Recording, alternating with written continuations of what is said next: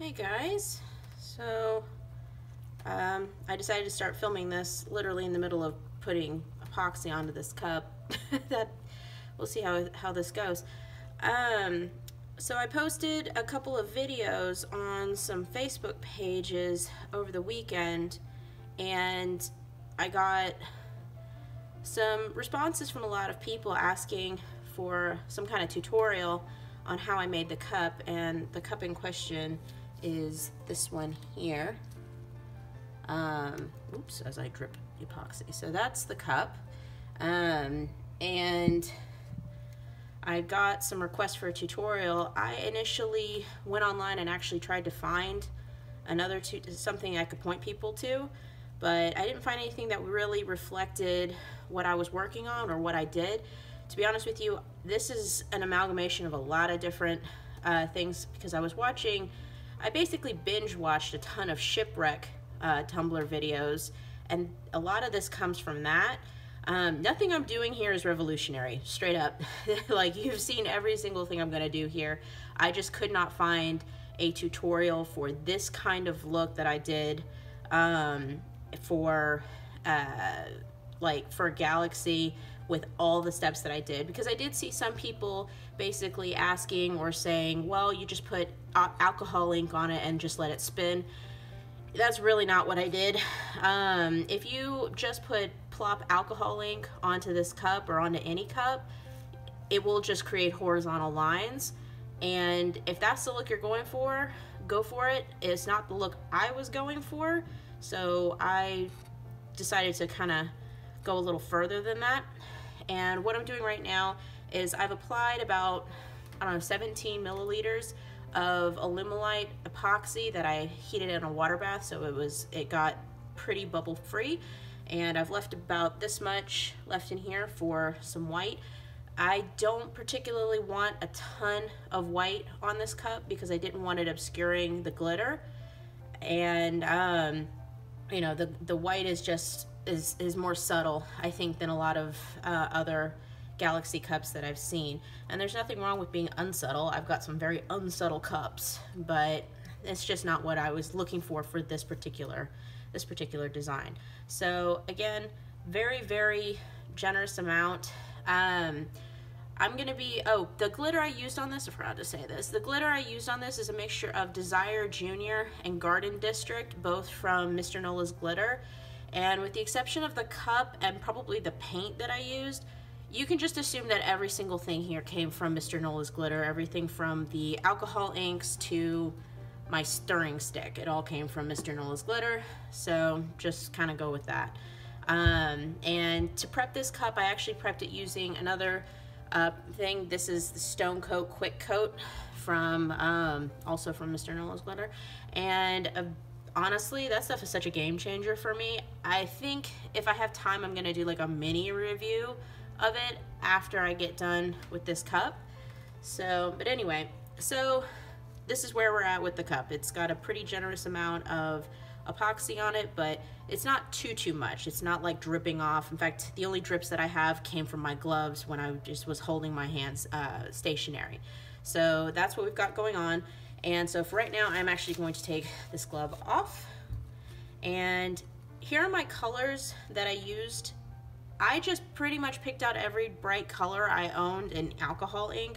You do not have to use this many. In fact, this is probably crazy, crazy amount. So from Marabu, I used turquoise, uh, apple, uh, oh, just apple, red orange, aqua green, uh, gen gentian, gentian, amethyst, magenta, and tangerine. And from, uh, I thought this was a pinata, but I guess not. I'm not sure. Uh, Ranger, I think this is from Ranger. This is Shell Pink.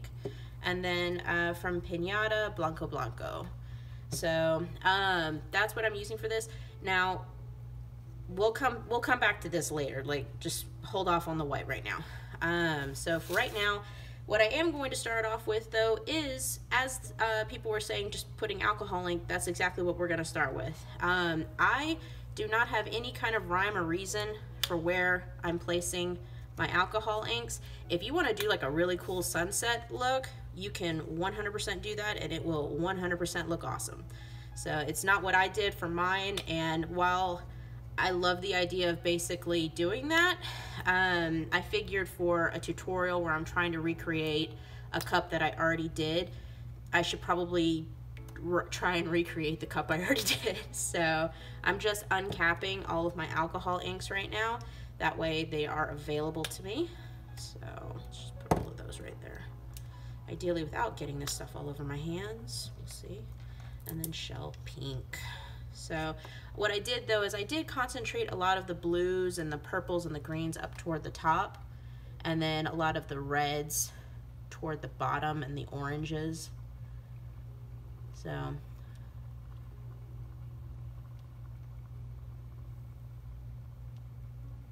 Alright, so just sort of putting drops all over the place. Alright. And I should say, this is only my second time doing this. The cup that I did before, that was, oops, we got some falling off. Uh, the cup that I did, that I posted, that was my very first time even attempting to make this. I got a lot of my information on making this, again, from watching Shipwreck uh, tumbler videos on YouTube. And so I honestly do think you could make you could use this exact same technique for doing shipwreck because that's where the, the, what this is all based off of is just shipwreck tumblers. So let's get a little bit of green and then we're gonna switch to purple. Now I'm trying to fill in every gap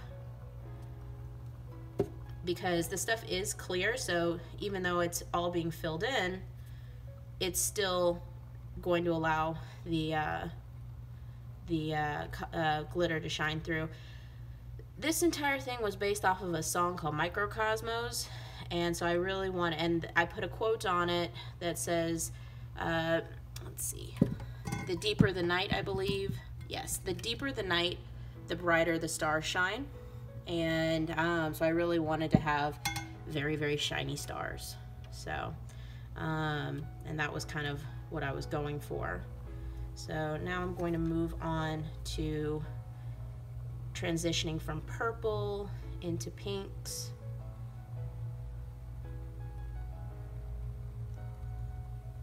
And, and the oranges and the tangerines. Put a little bit up here though. I like this color. I think it's really, really beautiful and vibrant. trying not to overdo it. I again, this is my first time or second time actually doing this, but I have heard that you can you can in fact overdo it on the alcohol ink. It can saturate too much. So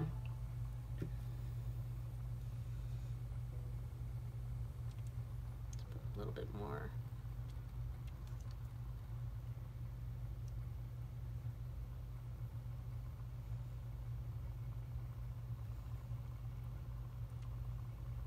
this stuff smells strongly. I would normally be wearing my respirator. I tried it out. It couldn't really understand me on the video. So no respirator at the moment. But I definitely suggest wearing one if you've got one. Um, that, yeah, I'm not exactly practicing what I preach. I apologize. So let's put a little green there. And then I think I want to add just a little bit more blue toward the top. I really want to have this rim very, very vibrant if I can. Now, all right, let's put just a little bit of more here. All right, so for me, that's enough. I don't need to put any more on there. So I'm going to move these out of my way. Let's just put all that over here. And now we're gonna move over to the white Let's get all this stuff out of the way. Oof, hands are gonna be covered. Okay, so here, so now we have our white, and my stirring stick has fallen over.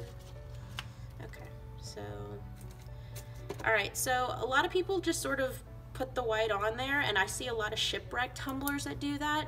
That's a bad idea, man. This stuff, every video I watch, they just put it on there, and I saw it break up and just look like cottage cheese and if that's, and you know what, honestly, it doesn't look bad for like surf um, and that kind of thing, but it's not really for me. I did not like that at all. Um, and even some of the comments, because some people asked me how I did it, and I explained to them that the white, I put it in um, in here instead. And if you want, you can add in some sparkle. Like I've got the Cajun sparkle, both the gold and the silver from Mr. Nola's Glitter. This stuff is fabulous.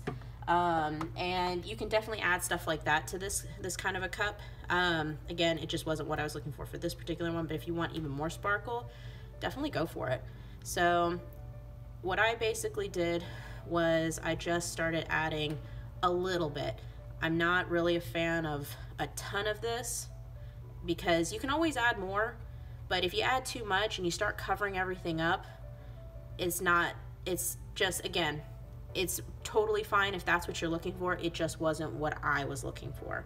Um, I wanted something. I'll throw a picture up on the screen if I can.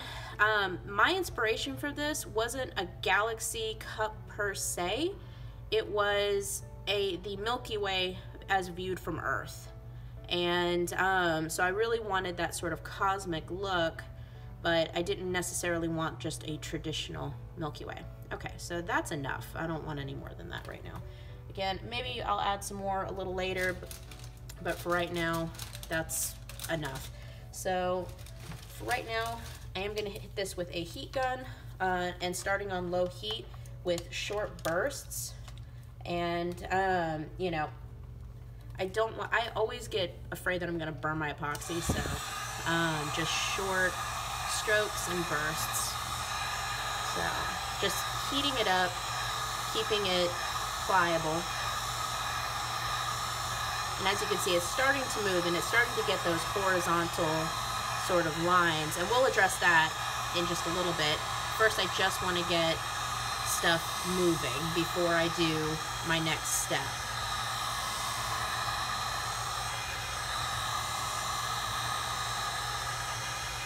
Just getting things moving, keeping everything very, very simple.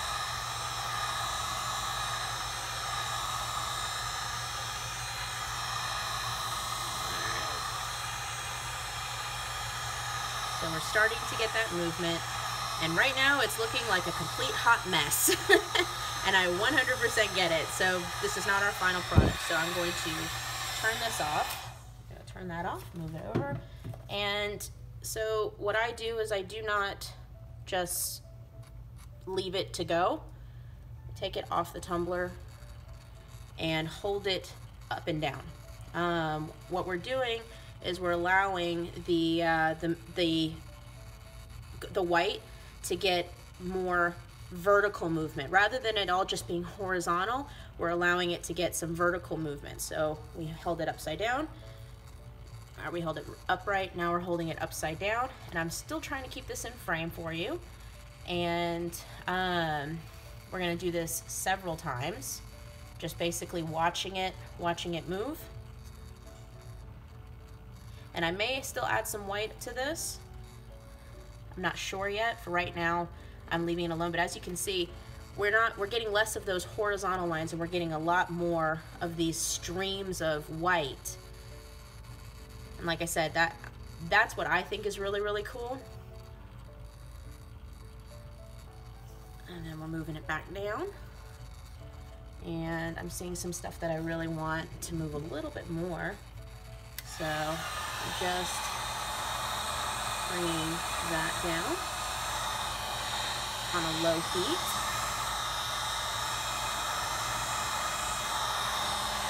All right. All right. And this stuff probably will drip off a little bit, and that's okay.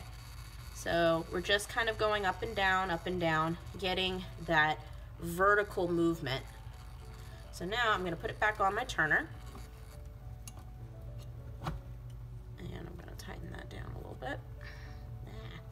Can figure out which way to tighten this thing, it goes the wrong way. Why you do me like this? In front of all my friends. All right, here we go.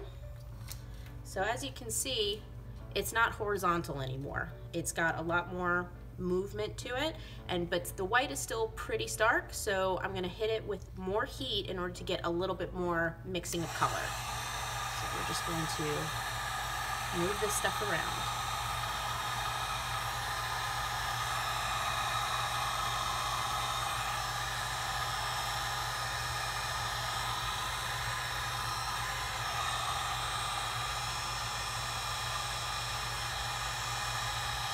And I try to keep my movement still somewhat in the vertical so that way we can um, keep things moving a little bit less horizontally.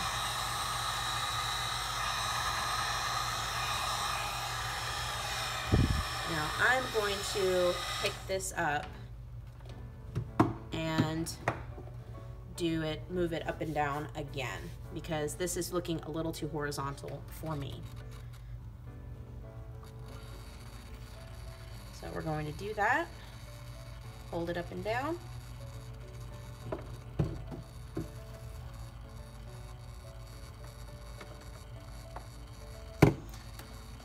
Now what you can also do, if it does start to look a little bit too much like lines, is you can take your stirring stick with that white and just kind of create additional dynamic movement.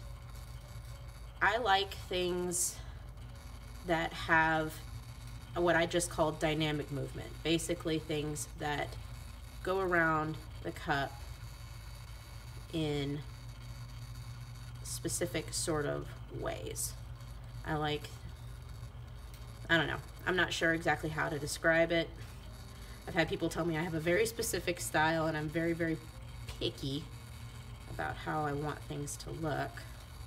So I'm just sort of moving things around. I mean, look at that. Look how awesome that looks. So, not every side is going to look amazing. You know, that's just not how life works. But you can add like for me, right now, I'm looking at this, there's just not quite enough here. So I'm adding just a little bit more and then bringing this down. Now we're going back the other way.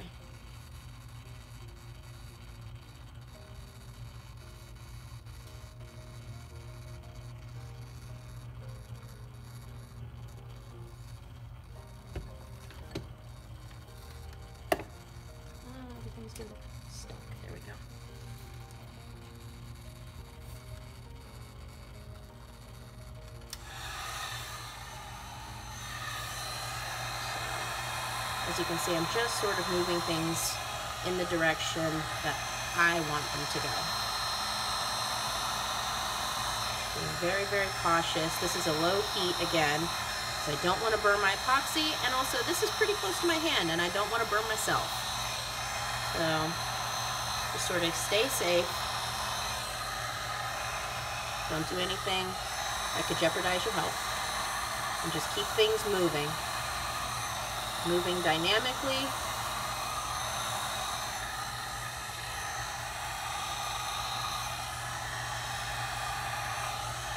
And that, that is it. What do y'all think? I think it turned out pretty cool. So I'm gonna put this back on my turner.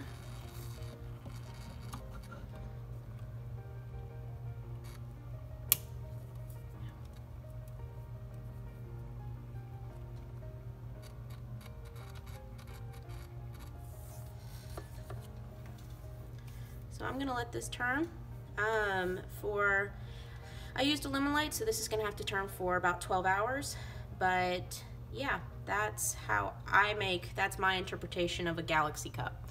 And I hope you guys enjoyed it. Thank you very much. Bye.